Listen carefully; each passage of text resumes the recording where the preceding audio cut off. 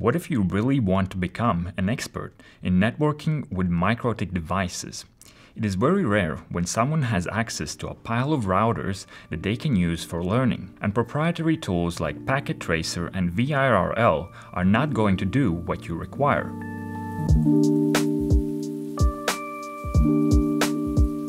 What you need is a network emulator that is capable of network equipment and end device virtualization regardless of the brand, so that you can see with your own eyes how MikroTik devices fit in real-world networks. There are many network emulators out there, however, in this demonstration, we will build a virtual network using a completely open source tool called GNS3, and I will do it on a Linux desktop. If you're on Windows or Mac, you can follow along as well, but nuances might differ. For example, the installation. On the GNS3 website, there is an installation manual for different environments. Feel free to follow that. I am on Manjaro again, so here are the commands I used.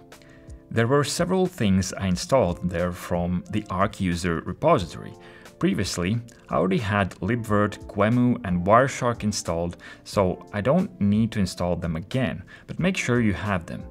And after that, we also have to add ourselves to the user groups listed on the website. I found that contrary to the instructions, I don't have to do this for Ubridge.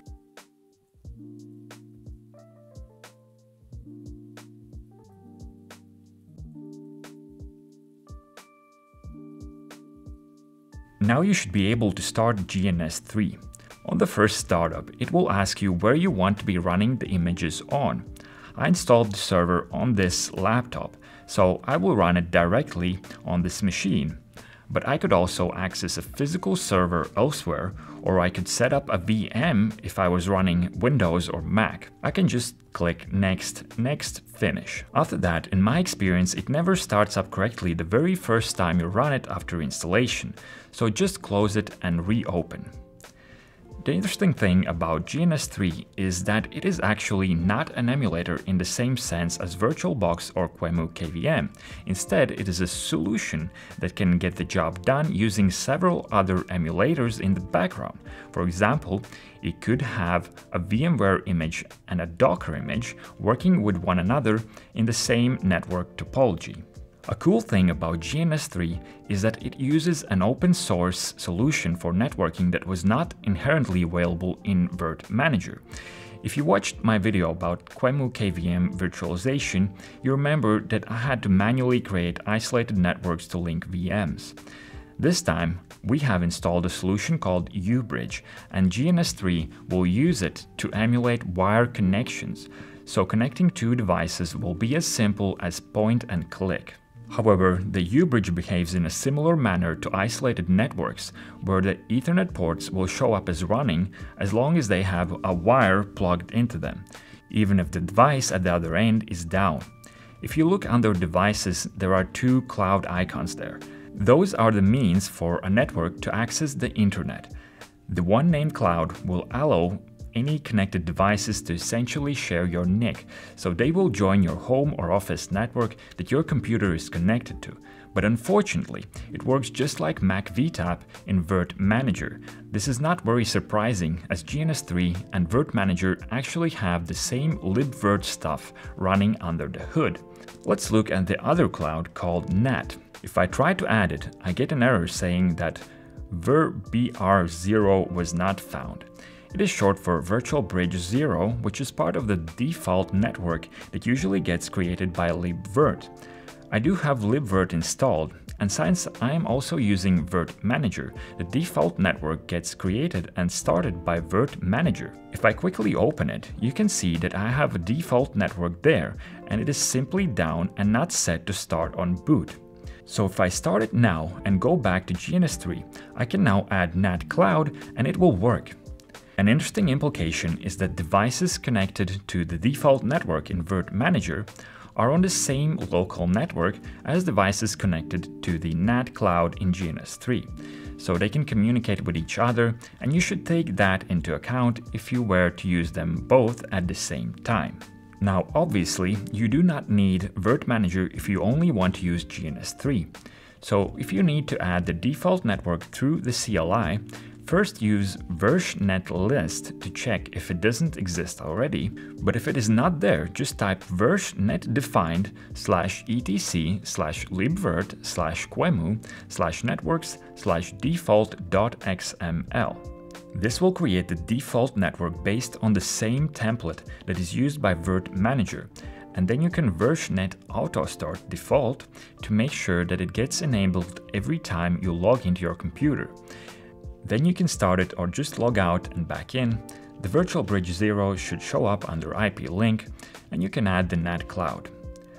Okay, time for the good part. Let's add CHR to our available devices. If you click the new template button, there is an option to install from their server, but a lot of the available images still require you to download the image separately. CHR is one of them. So to quickly make sure we have the latest version, we can just download it straight away from the MikroTik website and then pick the manually create a new template and click next. This perhaps is not the best UX design, but we are now in the preferences again, and we can add custom images through here. We will pick Qemu VMs. Click New, name it CHR 7.7 as that is the version I got, add as much RAM as you like, leave the console type as telnet, and then we can pick the image we downloaded. When prompted, agree to make a copy of the image, and then you can click Finish. The CHR can now be used in a topology, but it does have only one CPU core and only one interface, so we should just edit the CHR template so that every time, every CHR that we add has two CPU cores and say 8 interfaces by default.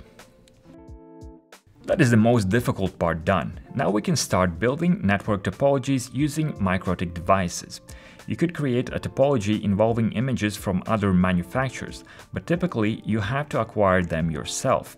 For further demonstration, I will simply create an all MikroTik VRF setup that will allow me to use and address several routers with the same configuration and the same IPs. Big thanks to Olga who showed me how to do this. If you want to learn more about VRF, I suggest you watch Olga's video on VRF. Alright, I won't get too deep into the VRF details as the point of this video is to just demonstrate the process of creating a virtual MikroTik topology in GNS3, but all the details are there if you want to recreate my setup. Here's the topology I created. There is a router that would be handing out IP addresses to devices, and I named it Office. It simply has all ports bridged and a DHCP server set up. If I wanted, I could add other desktop VMs, for example, and connect them to this router. By the way, you can add any desktop VMs you want, like Ubuntu or Kali, and run them from GNS3. I tried to import some existing VM images from Virt Manager, but there were some compatibility issues, so if you want full-blown desktop VMs, I suggest you download untouched VM images, make sure they are converted to QCOW2 or RAW image formats, and then you can add them as Qemu templates, just like we did with CHR. On the bottom of this topology, I created three routers that have the same configuration apart from their identity, so that we can tell the consoles apart later. These routers just have a DHCP server running that is handing out addresses similar to MikroTik DevConf addresses. At the heart of this setup is the gateway on which I created three VRF interfaces, one for each router at the bottom. Then there are three static IPs from the Office network that I can use to set up NAT to my three routers. And then of course there are three DHCP clients running, one on each VRF interface. The important thing to note here, for this VRF setup to work, you need to make sure the add default route is set to no, as each VRF route has to be added separately, and we don't want them to be overridden.